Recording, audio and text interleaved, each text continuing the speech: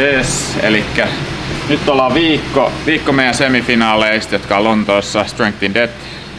Ja sieltä karsitaan top 5 gameseihin. Meillä on tässä meidän tämän päivän voimasessio, mikä ei välttämättä suoranaisesti ole liity niihin lajeihin mitenkään, kun ne kaikki on jo julkaistu, mutta mut tällä täl saadaan valmistettua kroppaa räjähtäväksi ja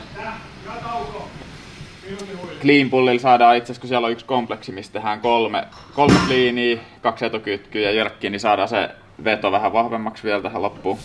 Niin joo, että meillä oli, meillä oli eilen, eilen lepopäivä, niin aloitetaan varovaisesti tämmöisellä yksinkertaisella voimasessiolla ja sitten iltapäivällä me kokeillaan vielä yksi, yksi kisalaji.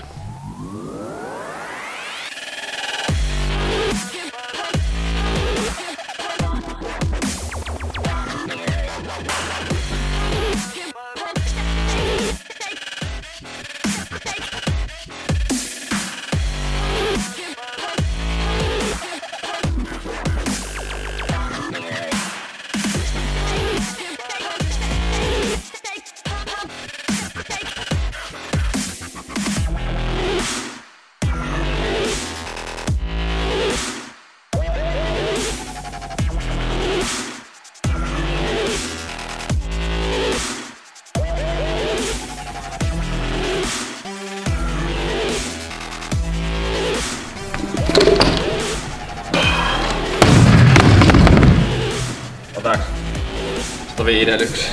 Käsin joo.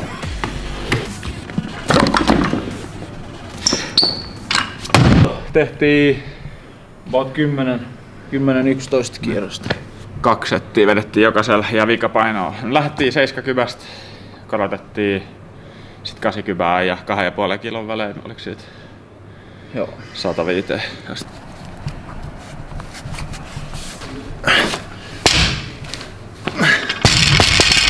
Tehdään neljä kertaa kolme clean, high pull,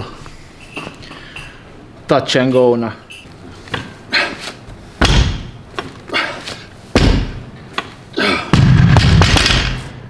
Mitkä muuten prosentuaalisesti teidän mielestä painot kannattaa olla noissa clean pulleissa?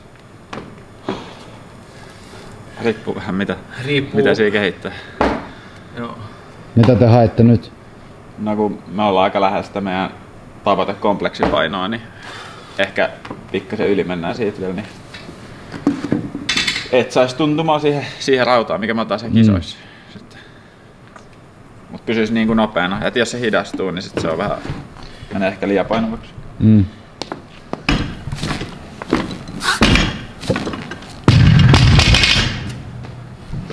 Aina kun tekee pulleja jollain painolla, mitä sä jaksat vaikka nostaa, niin se tuntuu sata kertaa ke- raskaammalta. Mm.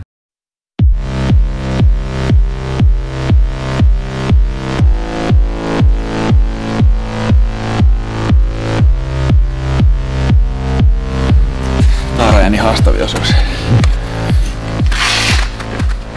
Niin silloinhan kannattaa vasta huolestua, että jos ne menee liian helposti jalkaan. Menikö ne? En mä tiedä. Katsotaan.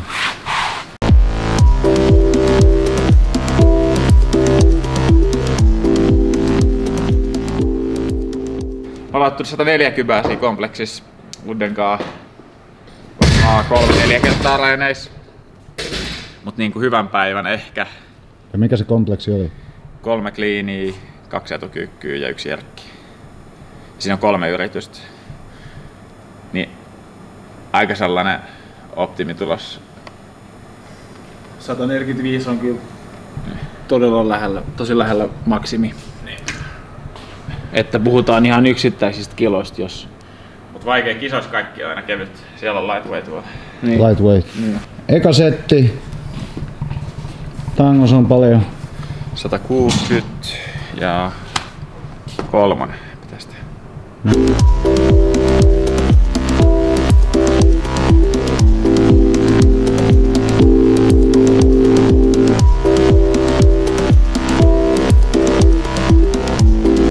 Meiltä tuntuu? Joo, joo. Aika kevyttä. Kevyttä rautaa.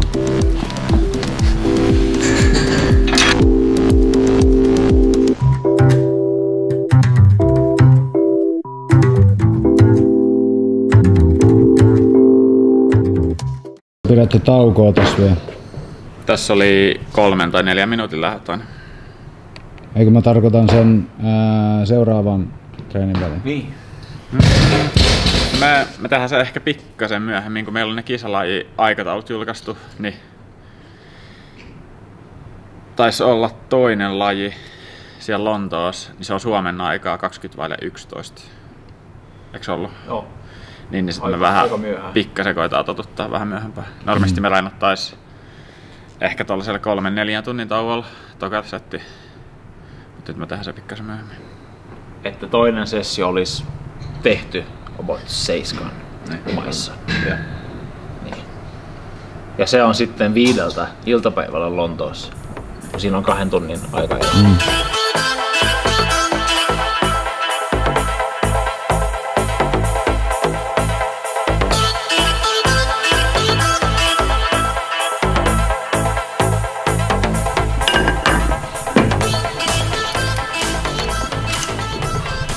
Ei vaan mahu enempää. Ei mahu enempää.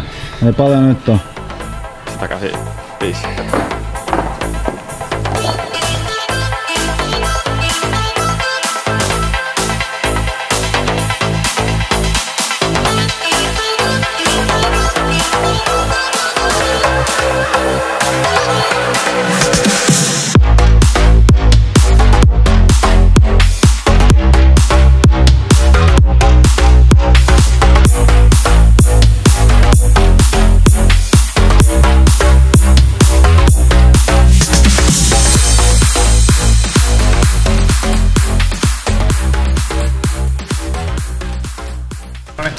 Se oli se treeni. Se oli siinä. No, Miltä tuntui tänään painot ihan, ihan ok. Ihan lupavalta? ok. Ihan hyvä.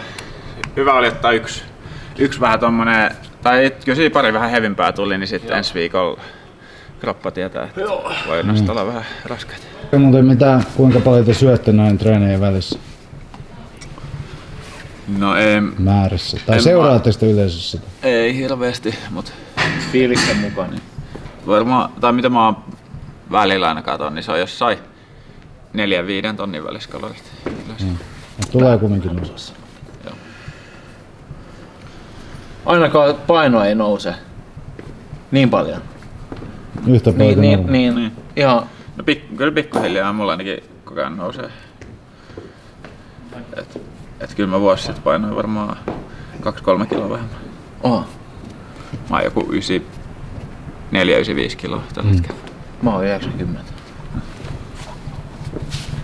Mä oon jo rajusti ylipainoinen BMI laskelman mukaan. Joo. Lääkäri laittaa sut sitten laihdutus. Laihdutuskuuri ja sanoi, että pitäisi kyllä tarkkailla vähän enemmän mitä herra syö. Mm. Pitäisi あれ話したらいいコント。うん